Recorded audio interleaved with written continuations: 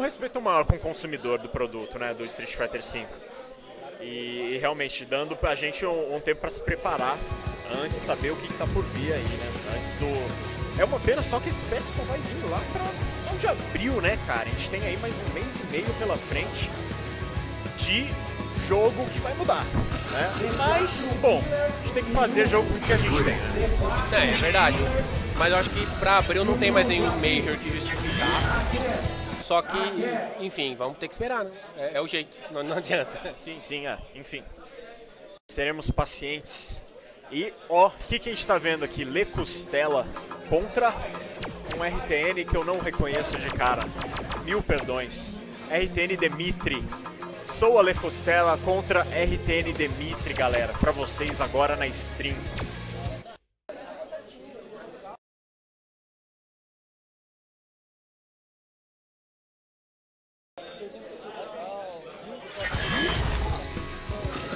Pessoal, a gente queria um feedback aqui da parte técnica, vamos dizer.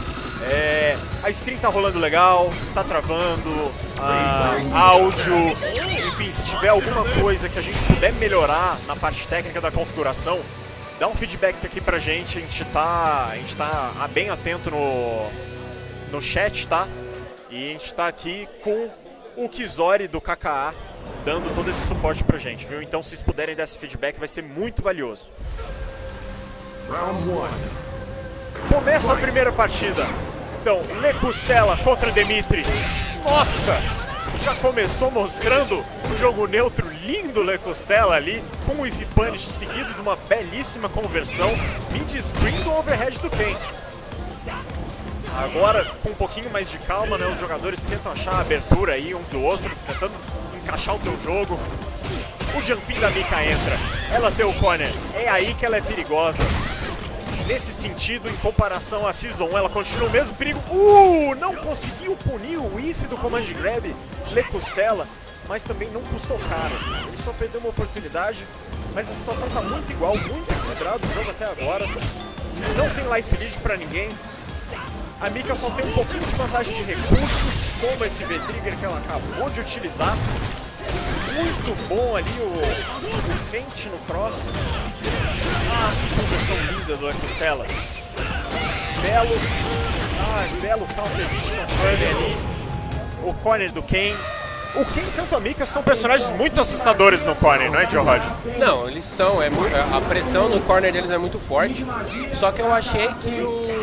Só que eu achei que o, o, o pulou muito o Lecostela puniu pouco no primeiro round.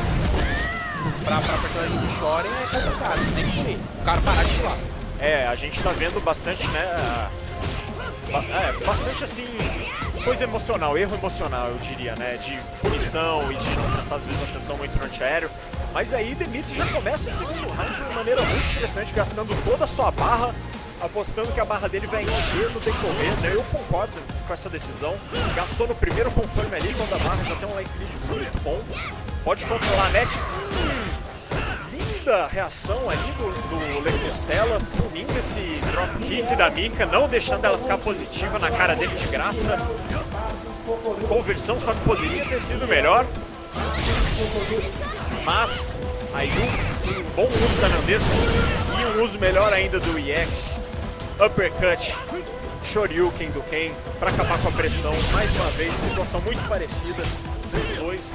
Partida equilibradíssima, mas Novamente, Lecustela leva melhor, fecha a primeira partida, 1x0 Lecustela. Joe Rod. Lembrando que mais da metade do round o, o, o Demitri estava no Perfect.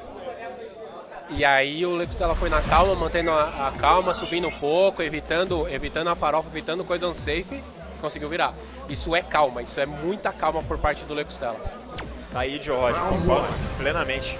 O Lecustela mostrou aí um domínio e uma paciência, né, vitais para virar aquele round e assegurar a primeira partida. O Crush Counter vai ter confirm, vai ter corner carry. O esse jumping não teve confirm que poderia ter, mas agora o throw loop é sério, é real. Mika consegue o seu, seu throw, faz a sua pressão, vai pro jump low, tá entrando tudo, cara. Todos os mix-ups da Mika estão entrando. É, o pessoal já solta as risadinhas aqui, tá entrando tudo no Ken.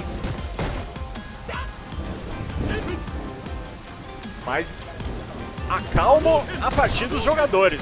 Eles não querem saber mais muito dessa pressão, estão tentando achar um, um, erro, algum comprometimento por parte do seu oponente. E foi uma coisa que, que valeu muito e fez o, o Le ganhar o, o round anterior, como enfatizou muito bem o Roger. Então acho que ele está procurando essa mesma questão. Tentou pescar mais uma vez ali o Crash Counter no drop kick da Mika, que não carregou até o final. E leva melhor o belo Command Grab vai deixar muito perto de matar. Falta só um jabzinho, qualquer coisa. Qualquer coisa leva o Grey Life. E sim, o Crouching Light King fecha. Não deixa Lecostela achar espaço e andar para trás. Fecha o primeiro round. O Dimitri mostrando adaptação. Mostrando que também sabe pegar um round. Diminui né, a cadência do jogo e levar melhor. Agora entrou três Command Grab em seguida. Que isso? Isso tem que ter entrado na cabeça. Puniu muito bem ali o jump neutro.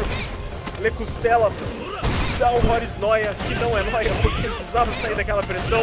E agora o Pro Loop real é do Ken. Fez muito bem ali o Dimitri em dar o delay wake up, né, pra não cair no Pro Loop do Ken quando ele whiffa. E tá muito perto. Uh! Lindo uso do Mitch, né? Repara que ele pegou no finalzinho da animação, nos últimos frames ativos, pode dizer assim, da, do, do golpe dela para ficar safe e poder punir com chute fraco. Exato, é, porque esse é um move unsafe, mas se pegar nos últimos frames, eu não tenho a frame data aqui para dizer exatamente quanto fica, mas provavelmente já, já fica aí ou zero ou se bobear até mais um, um positivo, enfim. Mas usou muito bem ali uma setup para dar o um meet nessa, na bundada ali da Mika e finalizar, assim como finalizou o round passado, com um lowzinho, né? Com um chutinho fraco. E empata Dimitri e Le Costela. Muito equilibrada a partida de hoje, tô gostando de ver. Não, tá equilibrado porque o, o Demitri ele pensa jogando, né? Ele vai na loucura da mídia, fazendo todas as superfícies dela que ele fala, né? Ele joga na calma, ele pensa o que ele tá fazendo. E o Le Costela a gente sabe, né? É, o neutro do Le Costela é muito forte, então realmente a partida tava sendo muito forte. Barrigada da Mika funcionou a primeira vez, não funcionou a segunda vez, Costela puniu bem, conseguiu ali um life lead bom, Vai ativar Nandesco já já, o Demitri, eu diria. Ele está utilizando bastante Nandesco para conseguir se, se, aproximar e fazer pressão. Vamos ver. Aí, ó. Ativou. Aquilo que eu falava. Ele faz aquele a ativação atrasada da, da exatamente para conseguir a abertura e conseguir fazer a pressão dele. E anda funcionando muito bem. Quem estava no canto, Mika consegue reverter. Uh, o Neutral Jump é bom. E vai finalizar o primeiro round. Denitri perde o primeiro round. Uma boa leitura do Command Grab por parte do Lecustela. Vamos lá, match point Lecustela, galera. Se Lecustela vencer essa, já manda o Demitri aí pra losers.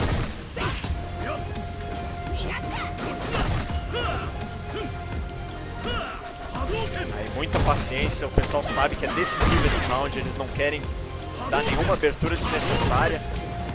Tentando fazer aí jogo mais neutro que eles conseguem, tentando capitalizar de alguma maneira safe, mas veio a posição do Campinho por parte do Lecostela, ele está muito esperto, mesmo focado no neutro, ele também está focado no, no, aéreo, algo que não é muito fácil de se fazer, né, Jorge?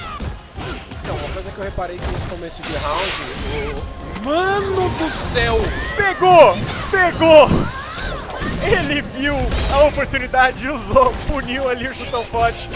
Deus do céu, reverte o momento de uma maneira, mas o jumping é bonito por parte do Lecostela. Ele não quer saber de deixar esse momento a favor do Dimitri.